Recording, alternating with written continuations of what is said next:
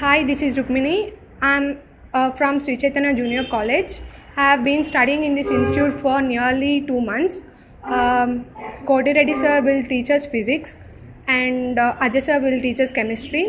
Um, they will uh, clarify all the doubts and they will teach us in um, a very friendly manner and um, I will give five ratings out of five. Thank you.